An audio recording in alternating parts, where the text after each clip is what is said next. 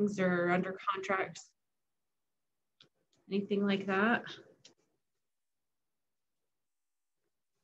Well, I just want to celebrate that you're that you're all here and it's a Wednesday morning and this is a great place to be. So All right, we're going to move on to our broker moment. What do you need to do before closing if you are working with a tenant occupied property? Here's a couple things here, but I want to hear from you. So hop on, tell me what you, uh, other things that you would need to do if you were working with a tenant occupied property. Brandon, I know you have some answers on this.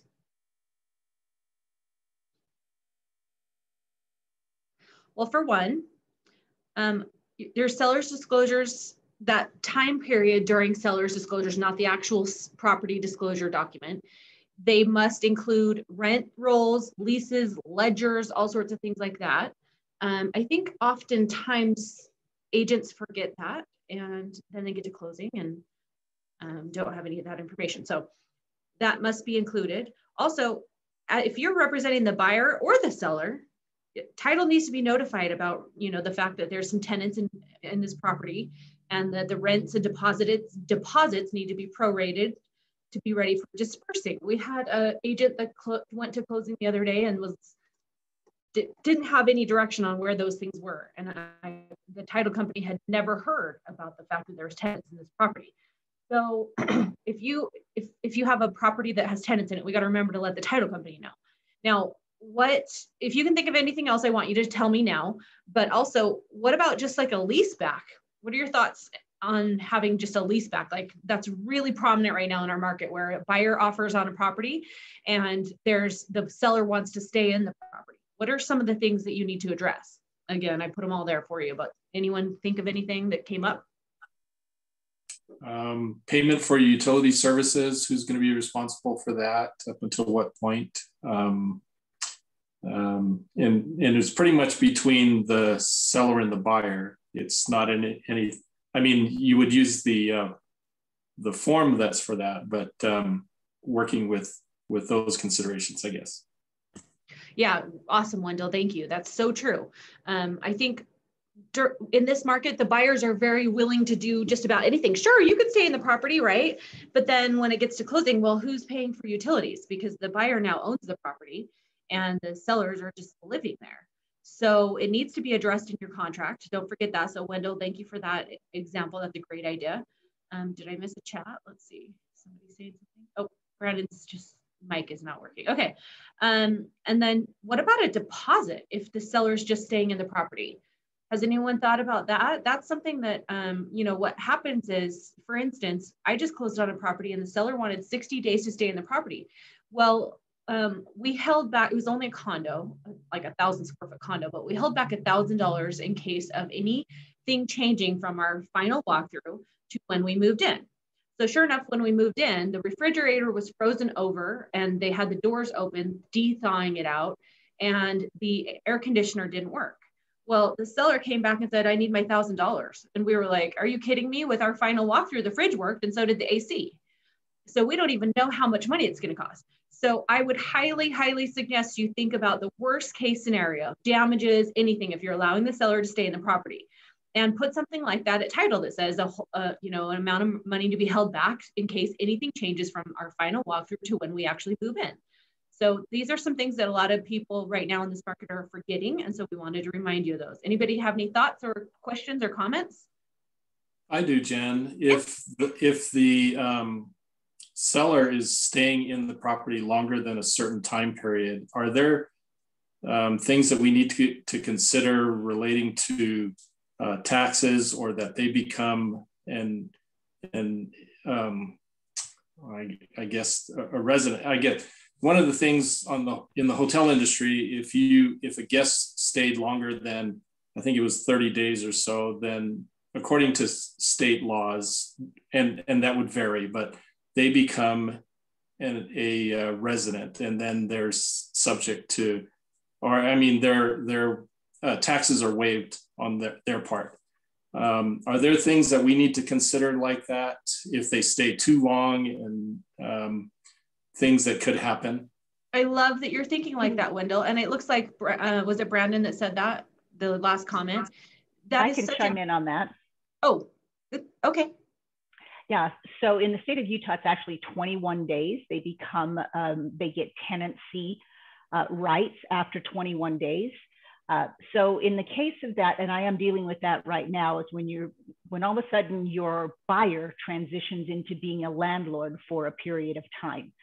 Do not use the lease back agreement that the MLS provides if you're doing anything long term like that. You're going to want to have them be actual tenants.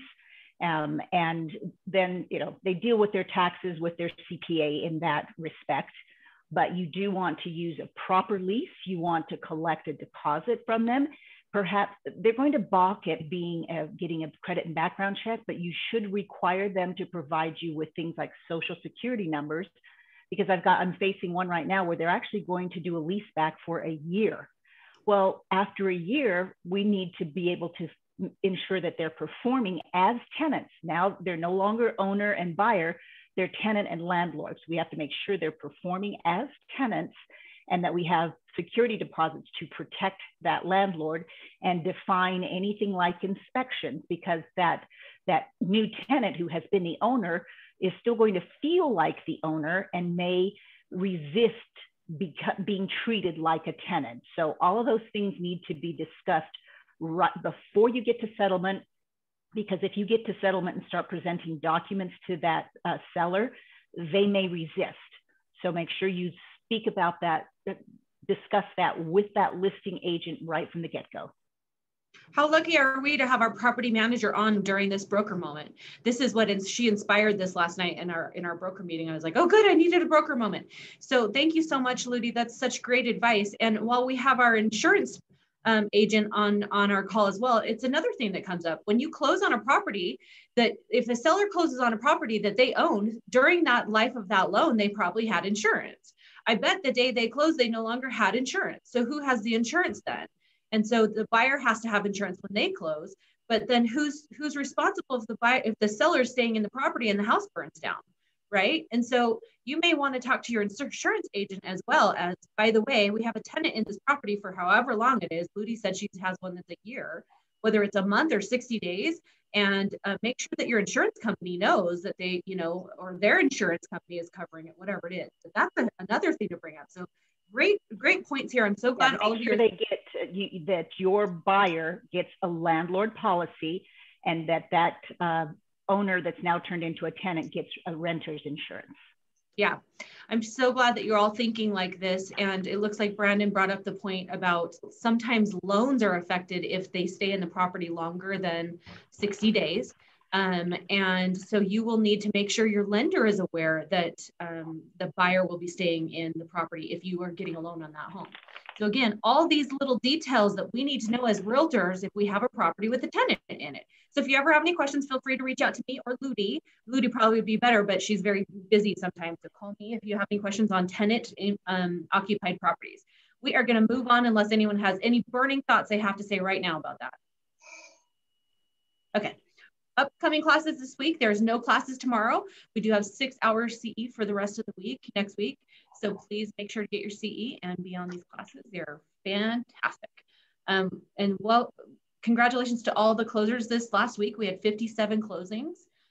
What a great week. Can't you tell it's like summer right now? It's busy, huh? All right, and then also um, we had the Hammy's Homes and Chelsea Funk Real Estate team capped out this last week. So good job to them. Yay!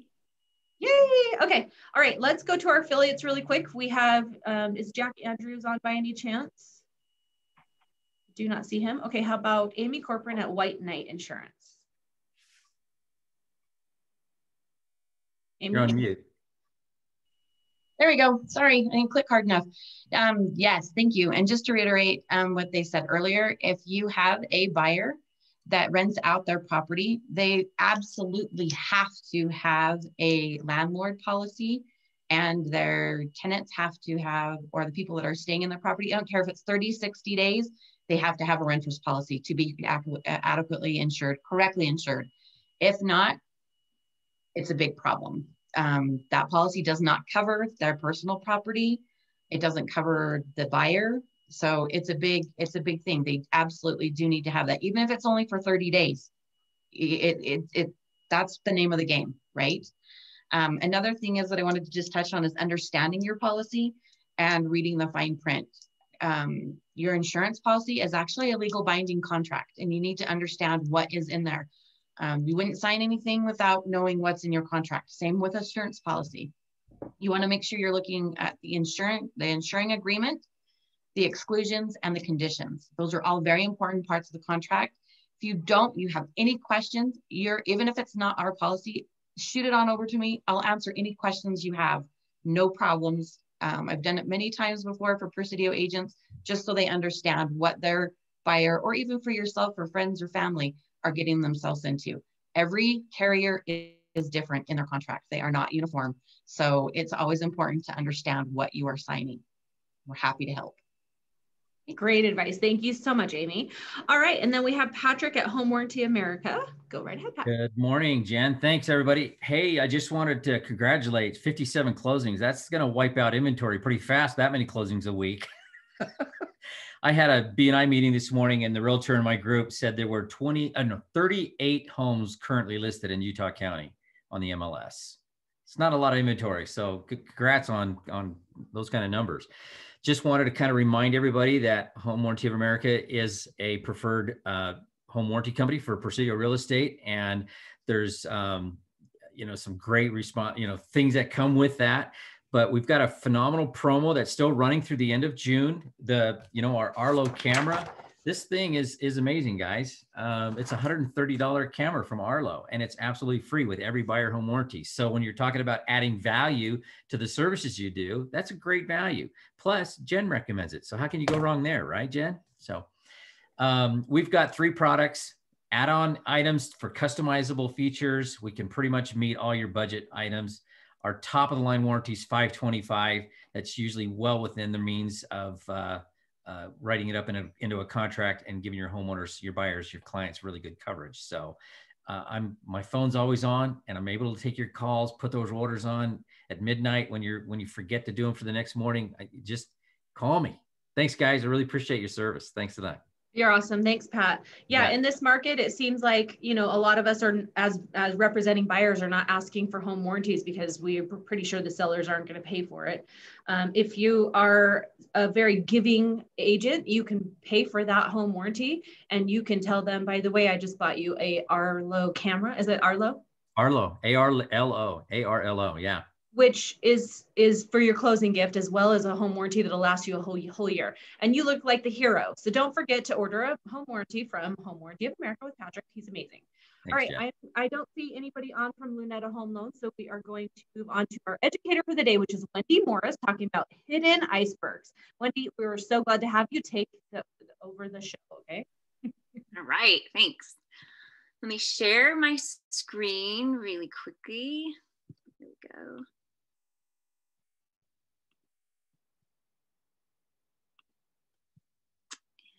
This. Here we go. Okay, well, thank you for having me today. Um, like, like she said, I um, my name is Wendy Morris. I am a certified Optavia health coach um, in partnership with the Center of Obesity Prevention Education from Vill Villanova University. And um, I'm excited to talk to you guys today about something that I am super passionate about. Um, I coach with a company, like I've mentioned, called Optavia.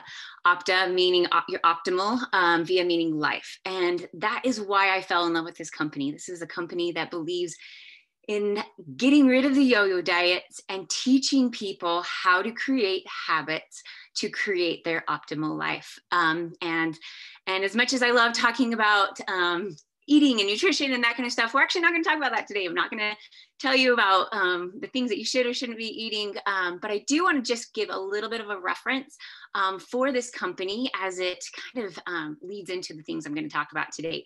So, Optavia has what is called a trilogy of health, or as my cute little Catholic friend calls it, the Holy Trinity of health. I'll take it, whatever it is. Um, this includes all three areas to create a holistic health healthy body obviously we know that right we know we need a healthy body to do the things that we need to do the things that we want to be doing in this life Um, a healthy mind helps our, our capabilities to dream, to detach from our limiting, beliefs, to start really acting. Um, and, and as we know, our body only does what our mind tells us to. So healthy mind is such a huge component in a lot of what we're going to talk about today. Um, and then the final part of the trilogy, which kind of confuses some people sometimes, um, is healthy finances, uh, which is a really powerful place to be in when you have the ability, the, the resources to pursue the dreams that you want. Um, you end up giving back in very ab- abundant ways. So, healthy body, healthy mind, and healthy finances is what we call the trilogy of health and um, and through these you can start seeing patterns and developing patterns and getting rid of patterns that don't serve you anymore um, to create what you intended to create in this life so I want to share with you a little bit about my background, um, where I came from, um, and what started me into knowing I needed to change. In my um, early to mid 20s, I discovered running.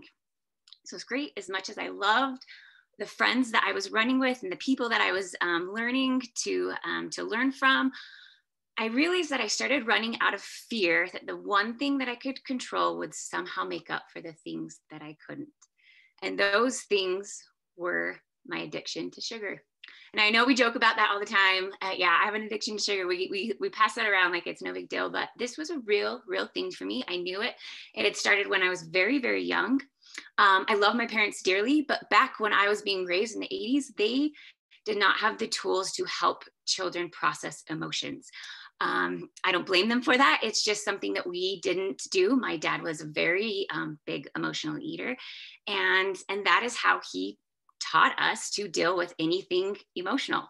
Um, and I'm not just talking about the negative things. So um, a lot of our positive things were always celebrated around food. If we won sporting events, if we did well in school, every time that was rewarded with food. And and as a, as a kid, I kind of liked that, you know. And um, I remember even being my dad's chocolate girl. Like him and I were the ones in our family that um, that liked chocolate, and so I identified that that I grew to to to love that about myself. That I loved sugar and I loved chocolate, and this connected me to my dad.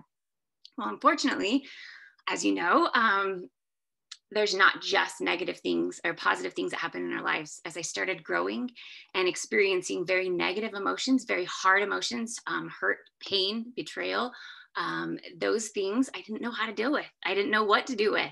And so I figured if, hey, if food worked with those positive emotions, then certainly they would help with the negative ones as well. And so um, I went to sugar, right? A lot of us do.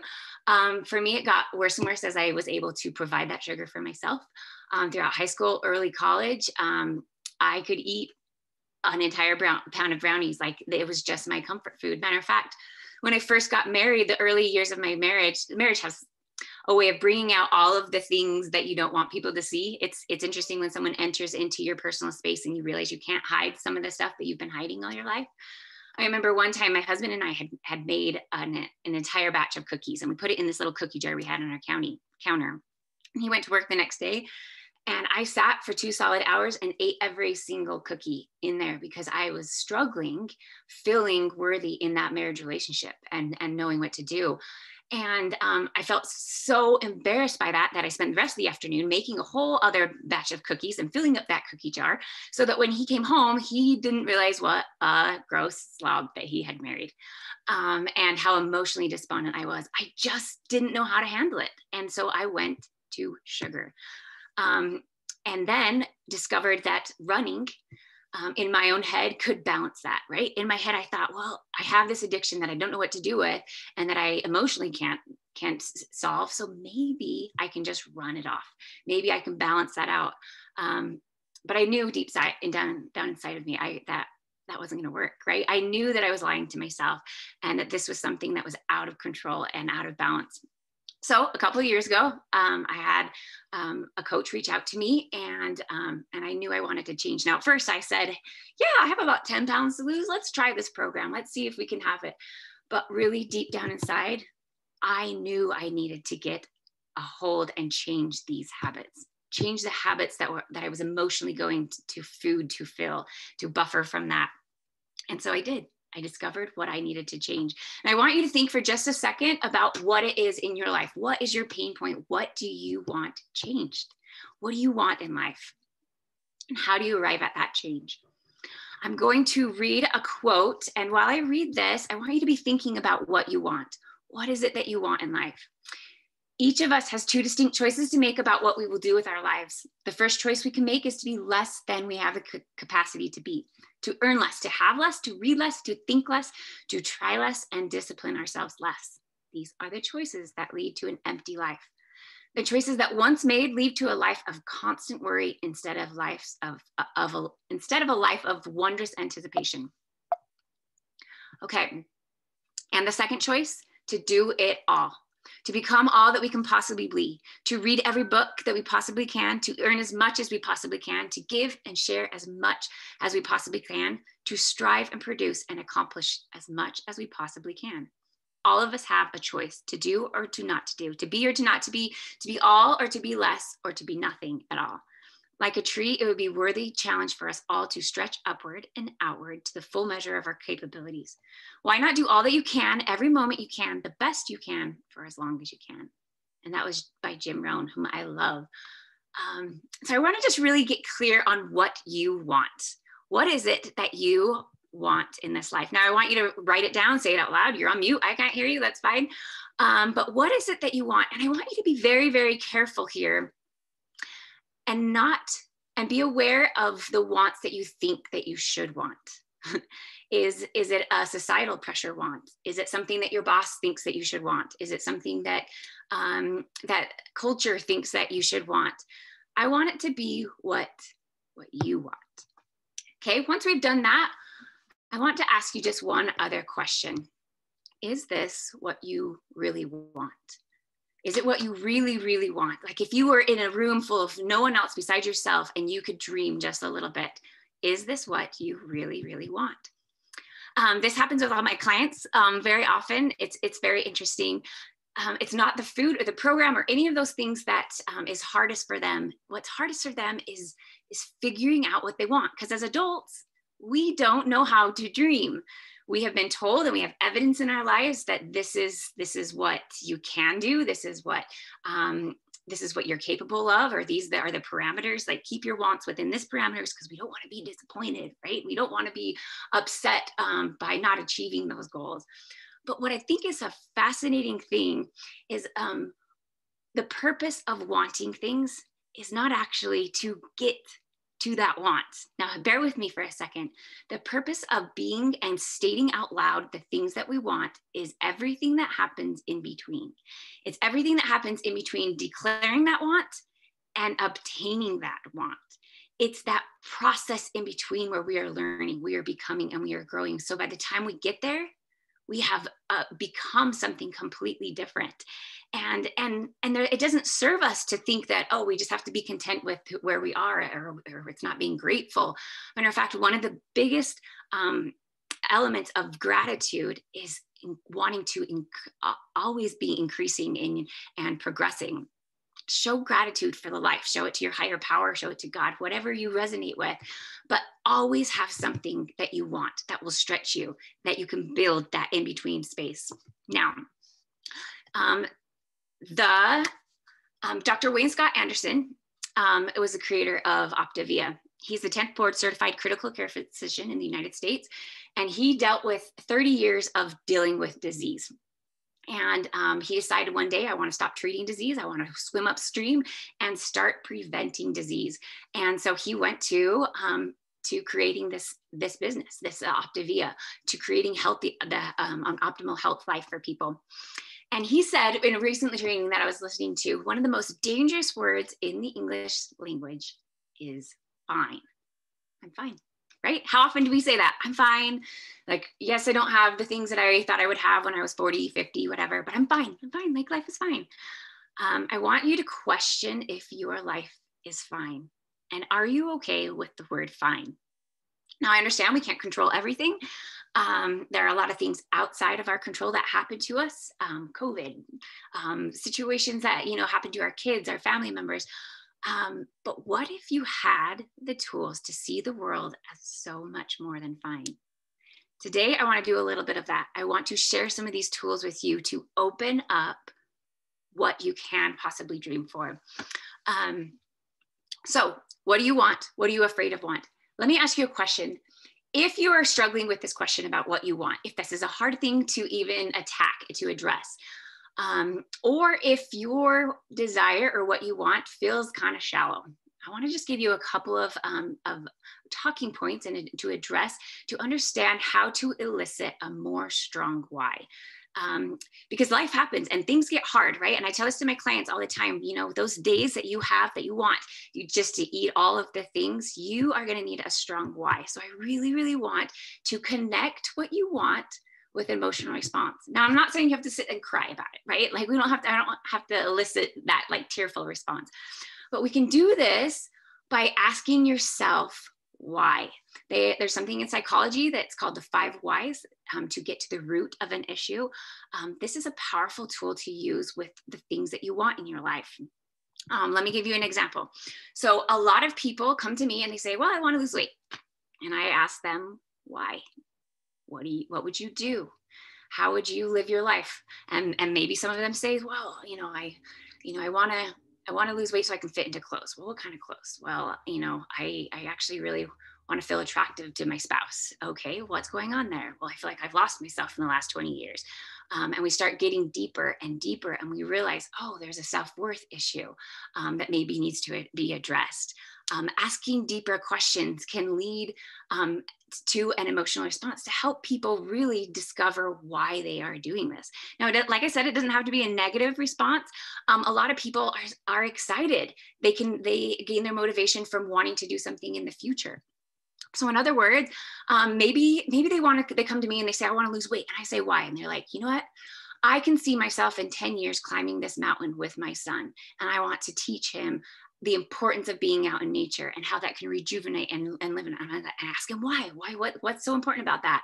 And he can and he tells me that you know he and his dad went out on the mountains and this is where he really connected to his son. And um, and and you see how you can get to a point where by just asking deeper questions that attaches an emotional response. And sometimes it's a motivating response. Like sometimes it's it's not just a painful place that they're coming from but um, but a very um, excited place that they want to get to. So does your why elicit a strong emotional response? Um, let's let's go on and i want to share with you um, one that was for me. So when I started my program and my journey with health, I knew one of the reasons I wanted to get healthy was to be at in the swimming pool mom. Now let me explain what I mean to this. I grew up with an amazing mother who when, took us swimming often, okay? But what I noticed really early on is she was always in the pool with us. Always. The other moms were in their little cover-ups and they were reading their books and they got all mad if they got splashed. And my mom was in the pool and she loved to be in the pool with us and we were playing. And I remember thinking, what made her like want like put away her insecurities and jump in the water with us? And and when i started having kids i knew that this was something i wanted. I wanted to be an in the swimming pool type of mom. Well initially when i wanted to start my health journey i thought i needed to look a certain way. I needed to be like thin and tan and all the things in order to be, have the confidence in order to get into the pool with my mom. Um, and I and that was my initial why. But luckily, I had a coach um, that asked me questions that got me looking at my why and looking at what I wanted. And what we discovered through those questions is I didn't necessarily need or want to get to a certain weight or get to a certain look. I wanted the confidence I wanted the self satisfaction that I could be in a room and love who I was with um, and, and, love that I was with myself and be with myself and my thoughts. I wanted to be the kind of person that was so much more concerned about connecting with my kids than what other people thought about me at the pool. And because I had that, I had now a better, more emotional want. I had a desire to go after that person. And guess what?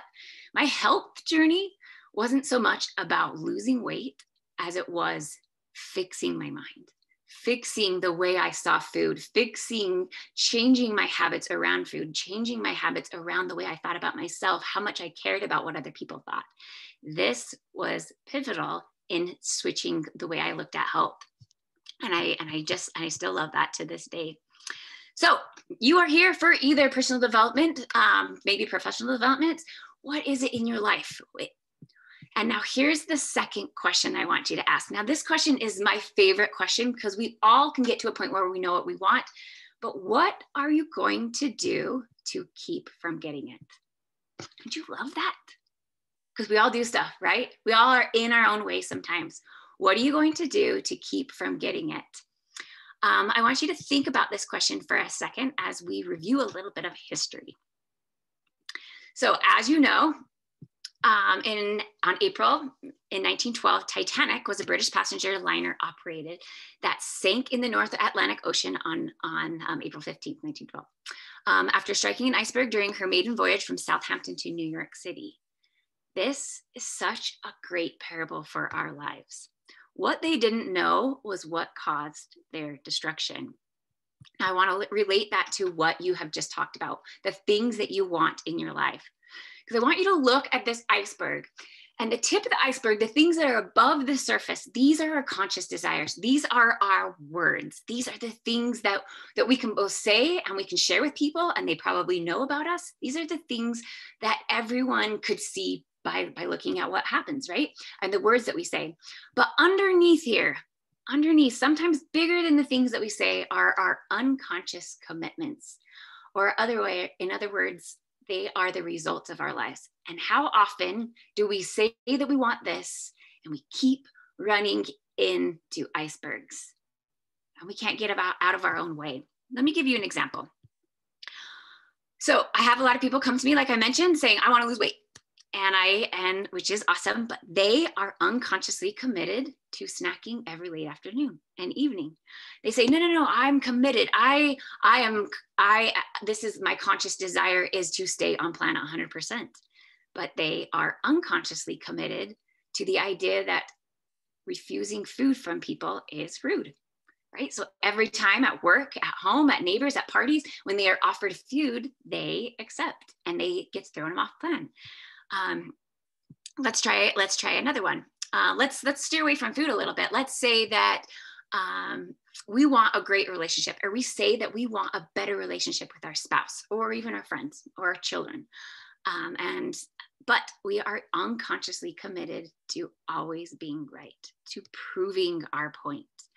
Um, ironically, this one characteristic will block us to all sorts of mentorship, help, guidance, correction. Being right is simply a perception. This is an interesting concept that I teach a lot of people. Um, we come to this world and through our experiences, we develop rules on our planet. And what's interesting about these rules is they are our own rules and everyone has their own rules on their own planets. And what happens when those rules contradict each other okay? I, I use the kids with uh, an example with kids all the time. So i might have a rule on my planet that when i ask my kids to do something i expect it to be done right away. And they say sure mom and um, they'll go do it. That's a rule on my planet right? But my kid might have a rule on their planet that when they hear their mom ask them to do something they'll think about it and then they'll finish the game that they're playing and then they'll think about it again and then maybe they'll do it right? So do you see how their rule on their planet and my rule on my planet often conflict? Well what if i was so stuck to being right? What if my right had to come first in everything right? Do you think that that unconscious commitment to being right would affect my want my desire to increase a better relationship with my with my spouse or my child um, yeah it would. But there's an alternative to it right? We can let go of a little control let go of a little bit of needing to be right and see okay i have rules on my planet. What if i didn't drop them? What if i just loosened them a little bit and said okay if you'll communicate with me that you want to finish your game before we before you do what i've asked you then then I'd be willing to let you finish your game. And we have that communication. And then by addressing those unconscious commitments, do you see how I can then increase that relationship and get what I want?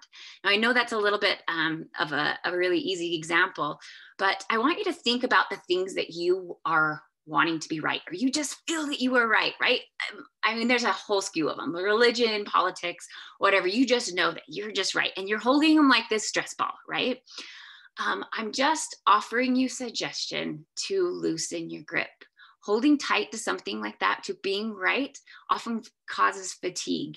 And I'm not just talking about muscle fatigue and, and, and arm strength fatigue. I'm talking about fatigue in our relationships, fatigue in getting the things that you want.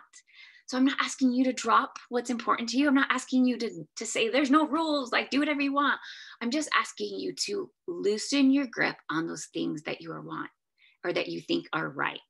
And perhaps you are going to be able to see that there are other perspectives that just might aid in yours and help you get to your desires, get to what you want. So back to our conscious desires um, and our unconscious commitments. Let's give you, let's do one more example. Let's say you're consciously desiring to be or to have a $1 million business, maybe a multi-million dollar business, right? But because you are um, unconsciously committed to the story you developed as a child, that money is hard or it's scarce or there's not enough of it or that it might run out, um, you keep hitting these icebergs. Um, what if you want you what if you say out loud that you want your business to grow but you are committed to people pleasing and staying in your comfort level do you see how these things that you are unconsciously committed to are preventing you from getting your conscious desires, the things that you are saying out loud, writing on your vision board, um, speaking out to the world, these declarations that you want. Um, I want to share just one of mine. So I um, when I first started coaching, I knew I wanted to share the gift of health with people. It had, especially the mind work behind it, it had completely changed how I thought about food. I told you a little bit about that story. Um, I didn't, I didn't give up exercise, but I realized that exercise could be something to, to um, increase the joy in my life and not be a, a punishment and not be something I had to do from fear of what my sugar addiction would cause. I wanted to share the gift with 100 people every year. I wanted to show people how living your best life involves mastering your habits and being a good steward over your body and your emotions and processing them and allowing them, both the good and the bad. I wanted to not be emotionally throwing up all over people, right? Or I or taking on other people's emotional throw up. Um, I wanted this for people. I wanted them to see the impact their physical health could have on their emotional health, their mental health, their spiritual health. I wanted to share it. But luckily for me, I had a wise coach that showed me what my unconscious commitments were.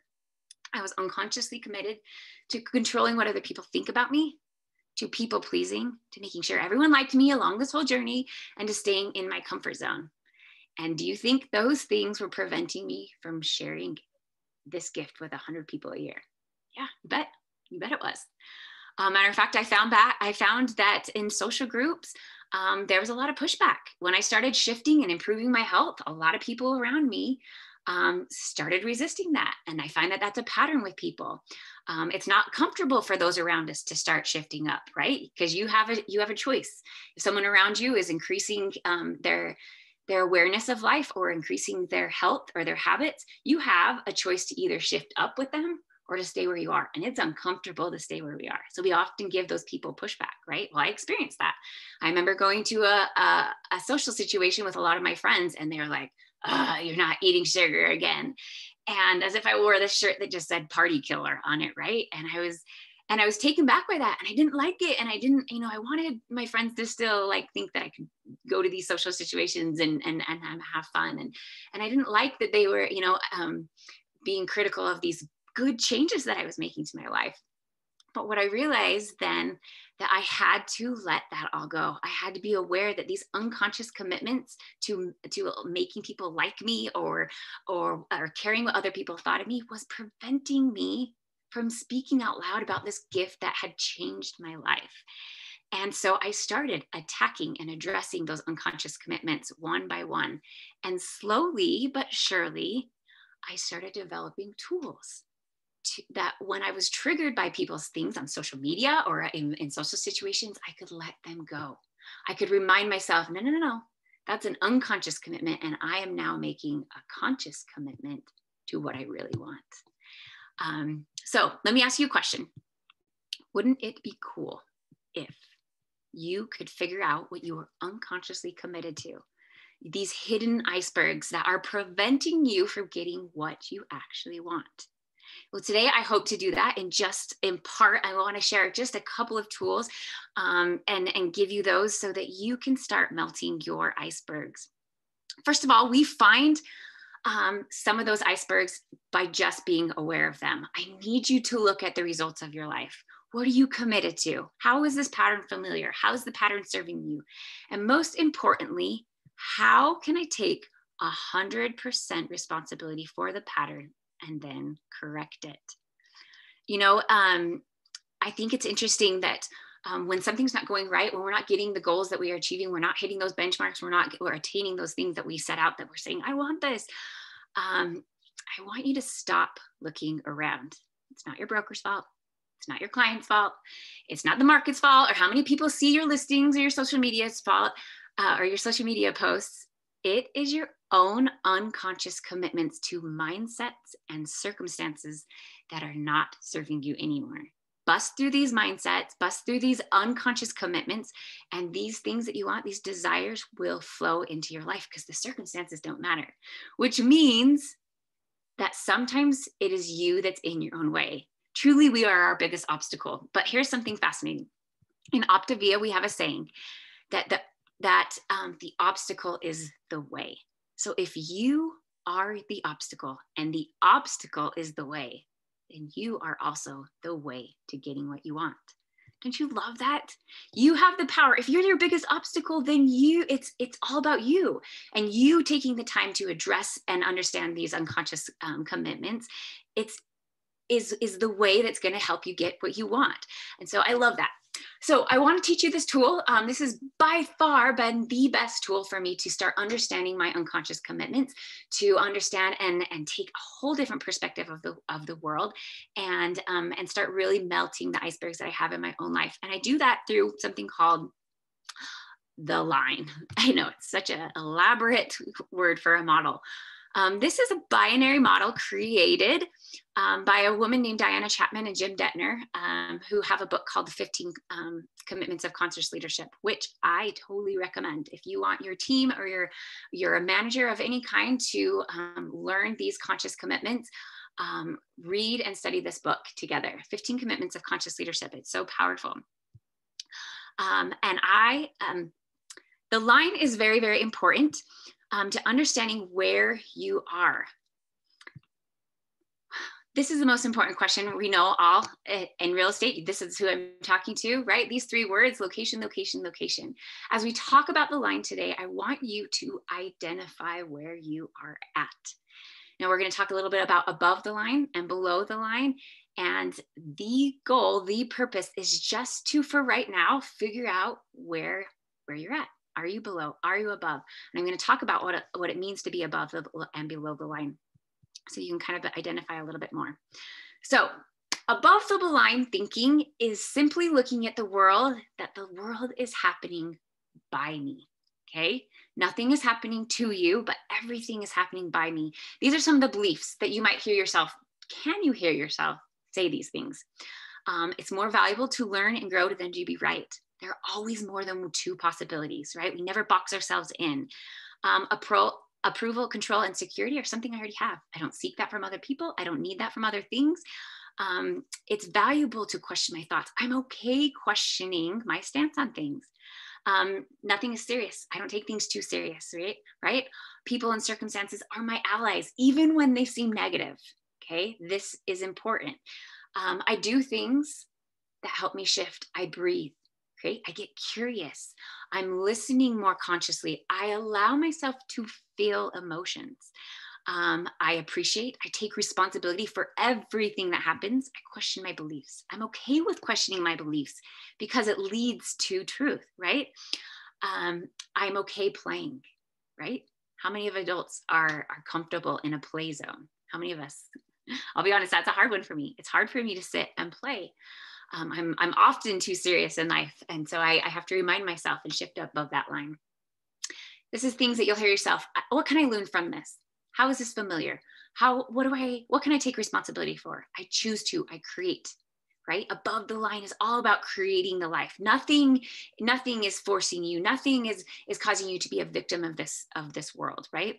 Um, those are the type of statements that you are comfortable with saying if you're above the line. Now let's switch. Let's switch to the below the line because if you're like me, you often spend a lot of time below the line.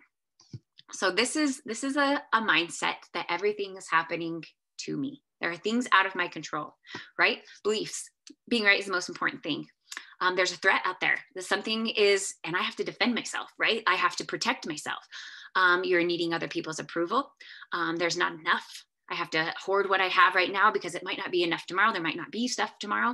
Um, I need to be in control. Control is is key to below the line thinking. Um, everything is serious. There's only two options, and I'm in stuck in between a rock and a hard place. Like that's sums up below the line, rock and a hard place. Um, there is absolutely a right and there's absolutely a wrong. Um, there is no choice. It's just one or the other. Um, they cling to opinions. They find blame. They, they, they point out blame. They argue, you're rationalizing, you're gossiping, you're overwhelmed often. How many of us are like, oh, shoot, I'm, I'm there. Um, statements that you can you hear yourself making is, oh, I really should do this. I should, I can't right now. This is hard. I'm trying. I'm trying sounds positive, right? But I'm trying is coming from a place of lack. I'm trying is is saying that there is something that you don't already have. Um, confusion, um, placing blame. You made me. I'm sorry. Never. Um, you're not listening to me. It's no use. Throw in the towel. Okay. These are the kind of things. Life is happening to me, and I don't know how to get out of it. This is below the line thinking. Now, where are you at? where are you at with your children where are you at with your spouse where are you at in your business with the, your coworkers with your clients do you find yourself more above the line even when your clients are irrational and and just crazy where do you find yourself are you blaming them are there circumstances that are just too much that this is just making life the way it is okay location location location you guys know this um, where are you this is something I discovered um, kind of late in the game. um, it's a normal state to be below the line. Okay, um, let me share an experience with you. I once um, called my coach in Optavia. Everyone has a coach, which is a huge family. Everyone, you get support. I have a coach. My coach has a coach. It's just how the way um, that we show accountability, um, and I love it.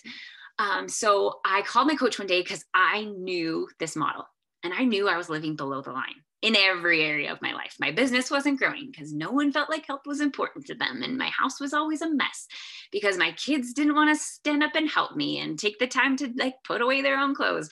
Um, my husband was out of town here and there and you know and he wasn't stepping up my clients were struggling and and and so i was bending over backwards to make sure that they were happy and and all these things okay so i called my coach and i said i was like i know i'm below the line I just cannot figure out how to get above the line. I don't know how to step into creatorship. I'm blocked to how to improve and how to grow my business and how to take care of home life and all the things. And and I was shocked by her response because she told me, "Why are you in such a hurry to get above the line?" And I said, "Well, isn't that what we're supposed to do? Isn't below the line bad and above the line good?" And she, what she showed me was my resisting was actually keeping me below the line. And that sometimes we need to gain wisdom below the line. And so she encouraged me to play below the line, to play in what's called the drama triangle. And she showed this, this um, model that has to do with the line that I want to share with you because there's power in this type of awareness in our lives. As you can see here, there are two different types of triangles. There is the empowerment triangle that lives above the line and the drama triangle, which lives below the line. And both are cycles. Both are cycles that we find are hard to get out of. So um, I want to talk just a little bit about this below the line drama triangle. Now, this is fascinating to me because I find if we can find ourselves in this triangle, then the awareness alone gives us permission to shift out of it. So will you play with me for just a second? Okay. So we have the victim. Okay. Most of us are very comfortable in the victimhood. We know when it's just life's not fair. Why are all these people making this X amount of money and I am stuck and I'm struggling and this is this life is happening to me. This is being done to me. Um, the villain. If we are the victim, then certainly there's a villain out there, right?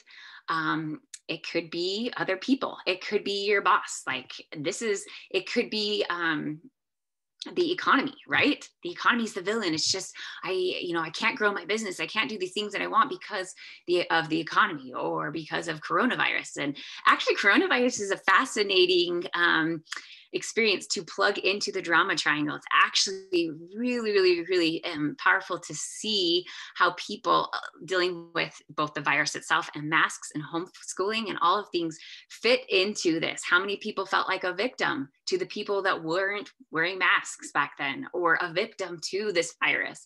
That there's nothing that they could do, and that they had to stay at home, and all the things, and and maybe they villainized the virus, maybe they villainized the government, maybe they villainized all those people that just were refused to get vaccinated or refused to wear the mask. Do you see how we we stayed in that victim? A lot of us um, stayed in that victimhood and had decided who our villains were, or maybe we became the villain. Maybe we're like, no, I, I'm I'm the villain in this story, and you blamed yourself, or you wanted to find fault with who was at fault. You know, you were looking for who can I blame for this? You know, what government didn't move fast enough? What what school system did not have the preparations that they needed? We can find ourselves in this situation. And then the last one is a hero stage. Now, this is interesting because, and coronavirus again is a very good example of this. A lot of times, as we move from victim to villain, we also then shift to heroing, where you step in thinking, "I need to save the day." Right? Maybe you're sick of being a victim, and and you and you and you no longer want see yourself as a villain, so you have something to fight for. You have to, some a point to prove, right? And you start enabling victims, giving them permission to be victims. I I I saw this and with no judgment because I found myself doing it too, but I, I saw this with how we dealt with our children in um, during the virus, right? We had teenagers and and seniors that were not having the graduation that they deserved. They they were not getting all of um, all of the benefits of just living that last senior year. And so what did we do? We came in, we're saving the day because we were so uncomfortable with our children being uncomfortable, right?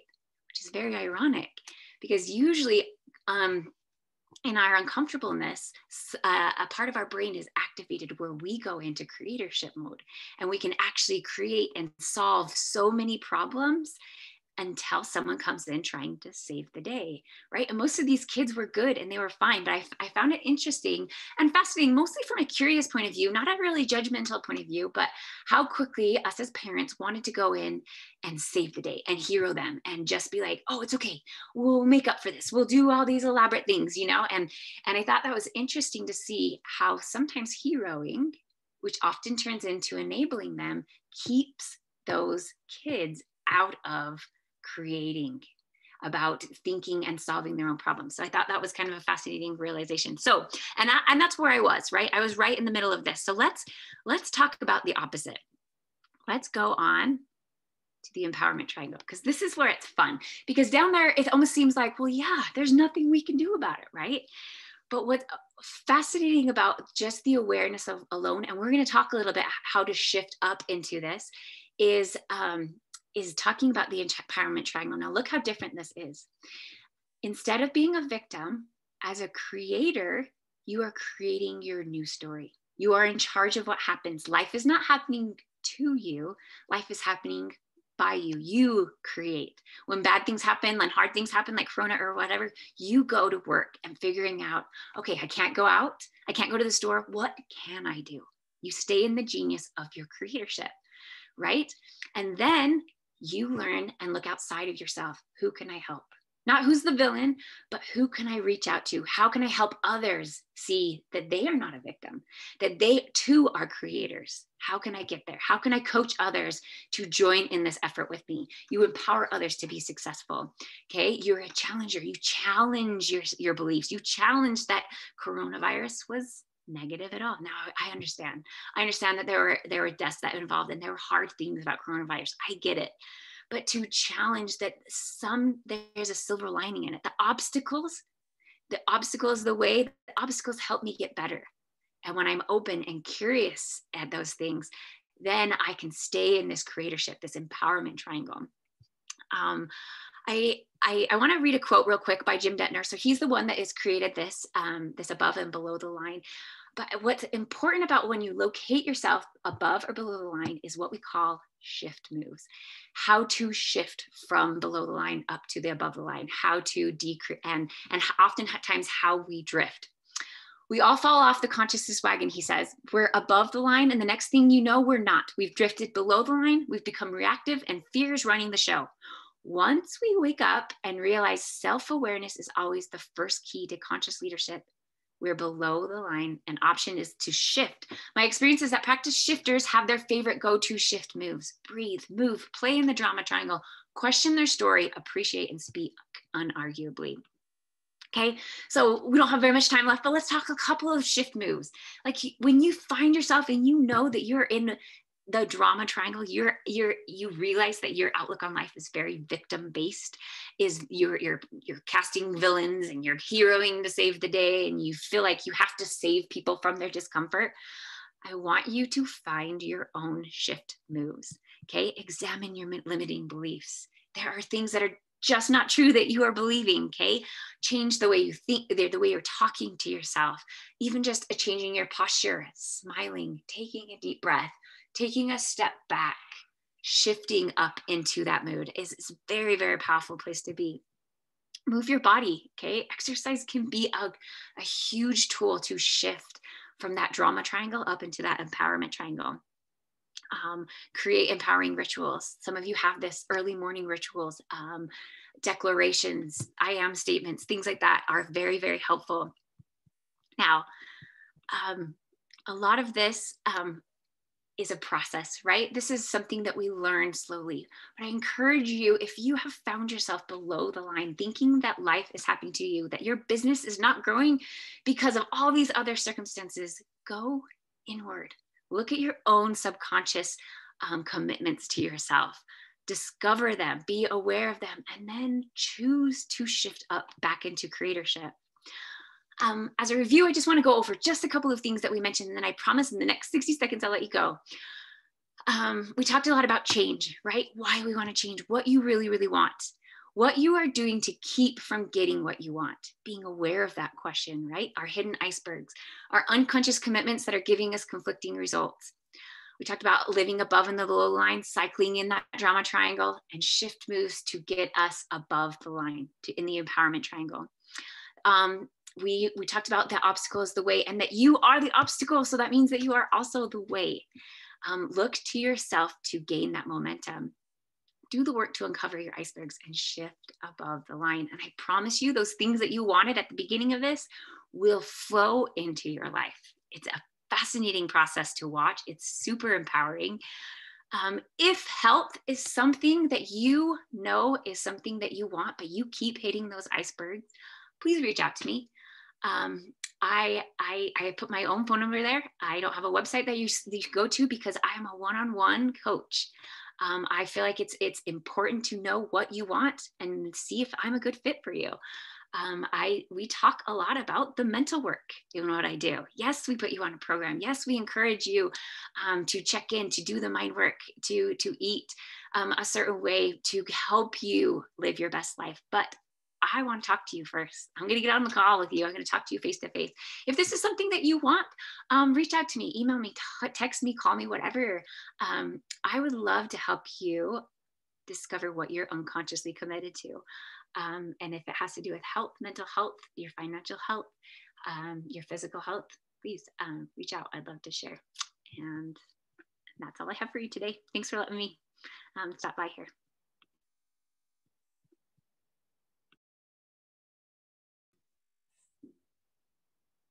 Wendy, thank you very much. This is um, some things that I've been thinking about. And um, I think um, I woke up this morning thinking, okay, I'm way below the line, as you put it. So uh, you gave me some things to kind of think about um, to kind of get me back as to where I need to be. So awesome. thanks. Mm-hmm. Thank you. Wendy, you're amazing as always truly inspiring. Thank you for coming to do this for us. And uh, hopefully, people will contact you so that they can better themselves and their lives and their businesses. Awesome. Thanks for having me. Thanks. See ya. See ya.